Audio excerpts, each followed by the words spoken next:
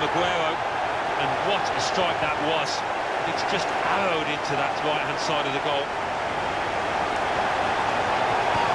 Well, let's take another look at the goal.